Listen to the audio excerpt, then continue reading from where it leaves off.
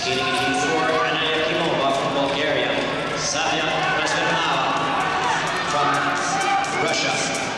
From China. Shane from Singapore. And the USA from Melvindale, Michigan, Jessica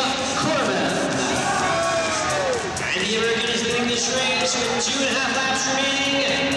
Inside pass made by the Russian Sofia Prosvirnova. 15 in this event, and the Sochi Olympic Games some contact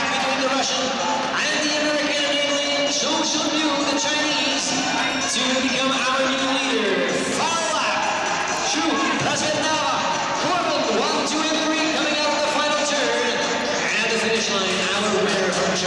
Qu Chunyu.